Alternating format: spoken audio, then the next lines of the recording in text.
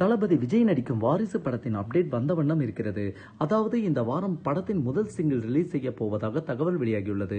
இந்த படத்தின் அப்டேட்ஸ் முன்னர் வரவில்லை என்று ரசிகர்கள் வாரிசு படத்தை பற்றி பெரிய எதிர்பார்ப்பு இல்லாமல் லோகேஷ் இயக்கும் தளபதி 67 படத்தை பற்றி பேசி வந்தனர் சமூக வலைதளங்களில் அதை எல்லாம் உடைக்கும் வண்ணம் இருந்தது வாரிசு படத்தின் புதிய ஸ்டில். இப்படி விஜயை பார்த்து எவ்வளவு நாள் ஆச்சு என்று ரசிகர்கள் மீண்டும் வாரிசு படத்தை பற்றி பேச ஆரம்பித்திருக்கின்றனர். இந்த படத்துக்கு இசை தமன் முதல் சிங்கிள் தளபதி விஜய் வாய்ஸில் வரவுள்ளதாக பல வதந்திகள் பரவின.